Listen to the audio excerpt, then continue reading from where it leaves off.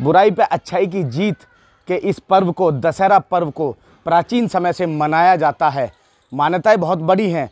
रामलीला मंचन के बाद में कल दशहरा है और दशहरा में रावण दहन का कार्यक्रम होना है, जिसको लेकर बागपत के दिल्ली यमुनोत्री हाईवे पर रिवर पार्क के सामने तीनों पुतले लगा दिए हैं। कुंभकर्ण, मेघनाथ और रावण का।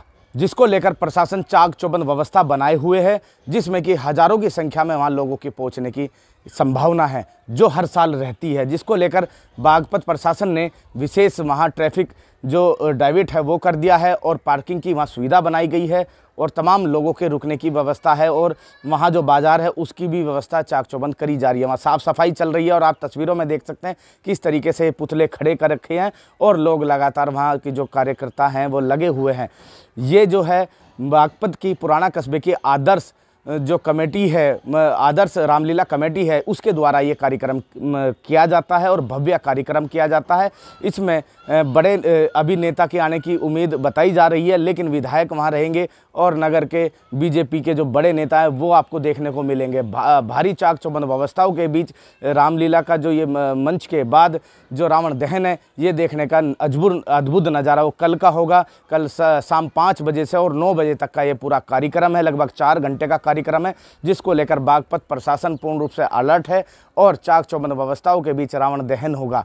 अब देखने वाली बात ये होगी कि कितनी बड़ी संख्या में वहाँ लोग पहुँचेंगे, क्योंकि ये पिछले साल जो कोरोना काल के चलते रामलीला नहीं हुई थी और रावण दहन नहीं हुआ था, अब की बार रामलीला के जो मंच हैं, उनमें काफ़ी भीड़ देखने को मिली है। और कल देखते हैं दशहरा में कितनी पब्लिक आसपास क्षेत्र की कितनी पहुँचती है, ये कल बताएँगे।